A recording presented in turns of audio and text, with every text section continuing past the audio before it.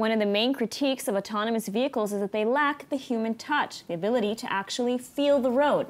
Well, that's where my next guest comes in. Tactile Mobility has developed innovative tech that brings this missing tactile sense to autonomous vehicles, letting self driving cars not only see the road, but also feel it. And here to tell us more about it is Amit Nisenbaum, CEO of Tactile Mobility. Welcome. Thank you very much.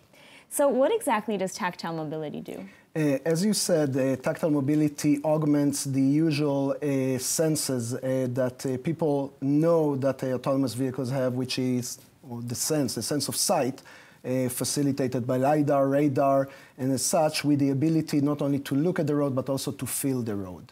So, can we talk a little bit about this? Can you elaborate maybe on the main challenges that are that's facing the autonomous vehicles industry today?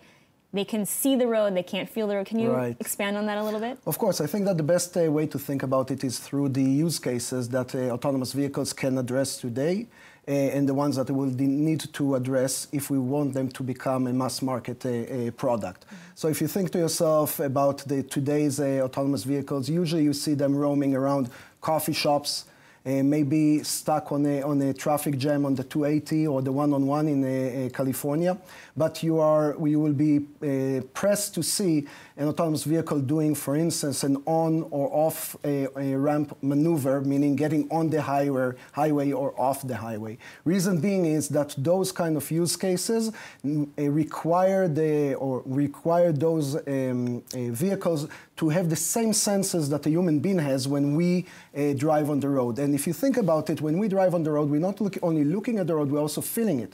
And going back to that use case of on-off ramp maneuver, uh, if you think about it, we're feeling. We're feeling how we're getting into the ramp. We feel if we're getting thrown away because we mm-hmm. entered it too fast. We're feeling if we're hitting a bump or a pothole and we need to adjust. And autonomous vehicles need to uh, be able to do the, the same. Mm-hmm.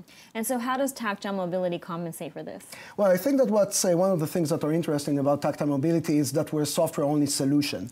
Uh, we have an embedded software that is being embedded in the vehicles on one of the vehicle computers, on one of the ECUs, and we leverage data from multiple non-visual existing sensors, sensors such as wheel speed, wheel angle, RPM, and so on and so forth. And the smartness of our solution is the ability to ingest all of that data to fuse it, to clean it from noises, and then to apply AI on it in order to derive insights and valuable uh, information that is being fed back into the vehicle computer in order for those to have better context to make better informed driving decisions. Mm.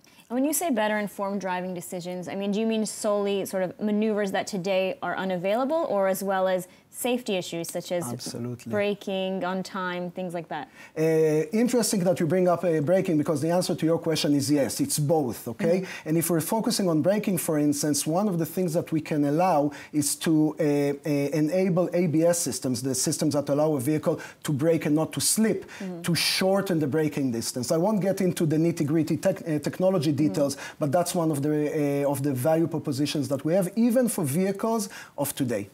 And th- that's a challenge that has been a challenge, at least for vehicles of today. We've heard in the news a number of incidents where you, you know, vehicles haven't been able to brake on time, right. Uber vehicles, things like that. So, right. can you tell us a little bit about that? Yeah, sure. So, um, for instance, if I will give you, I want a, I want to opine on the Uber cases, etc., or the Waymo. But what I can tell you, I, I, can elaborate a little bit about that use case. So, imagine to yourself a, a, the adaptive cruise control functionality. That functionality of cruise control that also adapts the vehicle uh, uh, speed in order to keep a set distance from the vehicle ahead of it. Mm-hmm. So, using visual, using visual uh, sensors that vehicle can know uh, the distance from the front vehicle, the speed of the vehicle, of course, its own speed, and to calculate um, conceptually what the distance uh, should be in order to uh, uh, uh keep a safe distance. Mm-hmm. However, today those vehicles cannot know what is called the grip level. How um, sharply can they brake before they will start to slip? And without knowing that, the vehicle computers need to um, uh, take or uh, to take a safe approach and to keep a large distance. Mm-hmm. Now, one will think that that's a, a, good thing. From some uh, perspective, yes, but it's not natural. It's not a, a, natural experience for the driver and the passenger. And even more so, ironically, it's not as safe. And the reason being is that if you keep too large of a distance, someone, especially in Israel, might cut in, mm-hmm. and all of the sudden it becomes less safe. Mm-hmm. So the ability to equip the vehicles with, for instance, uh, information about the grip level is enhancing safety and user experience. And I'm curious, at what stage are you in now? Is this technology already out there? Is it implemented in cars? Is it working? Indeed, uh, it is being implemented, uh, implemented and being further implemented in several what is called OEMs, car manufacturers. We're working with seven car manufacturers in North America and Europe. Uh, most of them, unfortunately, I cannot disclose the name. One that has been talked about is Ford, that we have a very uh, strong and very exciting partnership with. Well, great. Thank you so much for taking the time to speak with us today and for keeping us all safe on the road. Thank you very much for having me.